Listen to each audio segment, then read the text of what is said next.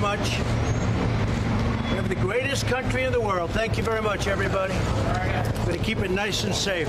The president held up the Bible the other day in Washington, D.C.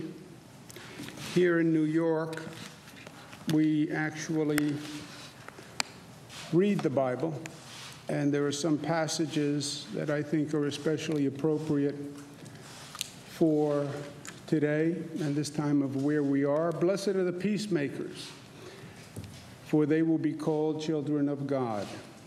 Matthew 5. If a house be divided against itself, that house cannot stand.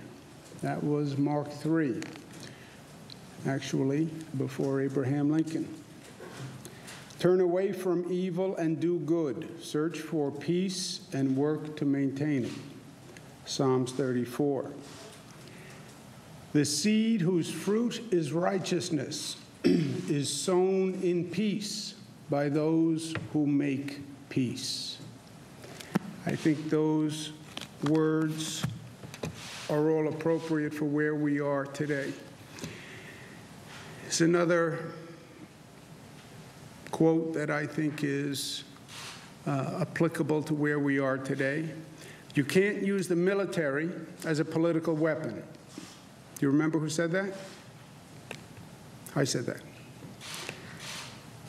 There's another quote the option to use active duty forces in law enforcement, use forces in a law enforcement role, should only be used as a matter of last resort and only in the most urgent and dire of situations. We are not in one of those situations now. I do not support invoking the Insurrection Act. Do you know who said that? Secretary of Defense Mark Esper, appointed by President Trump. You can't set fire to the house and then claim you are the one trying to put out the flames. Do you know who said that? You guys are not well read. That I can tell you. A.J. Parkinson said that.